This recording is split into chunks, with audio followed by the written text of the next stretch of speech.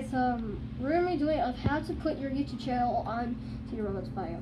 We're gonna go to my settings, right over here. And then you're gonna go right here, where settings is, and then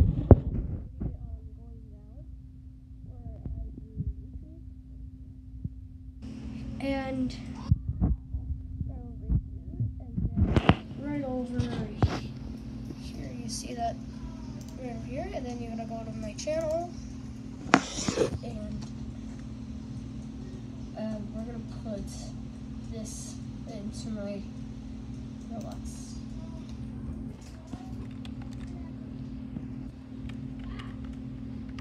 Fine. I'm gonna see what I'm doing.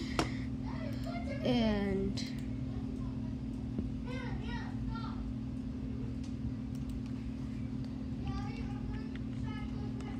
I'll be right back when it's done.